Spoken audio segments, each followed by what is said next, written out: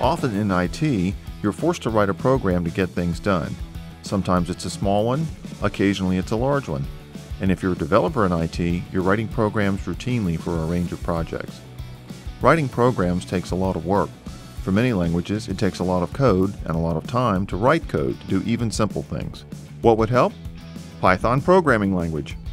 It was created to provide an easy way to do common things instead of forcing you to reinvent the wheel. First, Python's easy to understand code means developers can focus more on what they're trying to accomplish. Second, Python's support for a wide library of plugins both let it support many kinds of projects and execute them fast. Python helps you by being both easy to read and easy to write. The code itself is English-like, so it isn't hard to see at a glance what it does. Libraries provided with the Python language, as well as third-party libraries available separately, make it easier to do many high-level jobs IT professionals have to deal with on a daily basis. The kinds of manual tasks that Python can make easier include managing virtual machines and containers, making APIs for web services, and modifying network settings.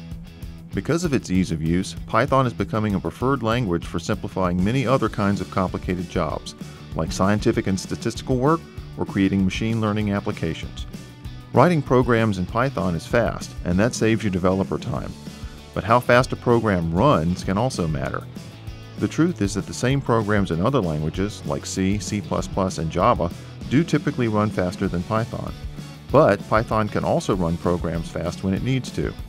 The secret is to use the many third-party libraries for Python that are written in faster languages, like C. All Python has to do is plug into such a library. Then it can run at or close to the speed of those languages where performance matters. Mastering new things in IT is always tricky, whether it's containerization, DevOps, or extracting a little meaning from a lot of data. Thanks to easy to understand code and to its extensive library of support, Python is designed to give you a leg up on getting all of those things done, both now and into the future.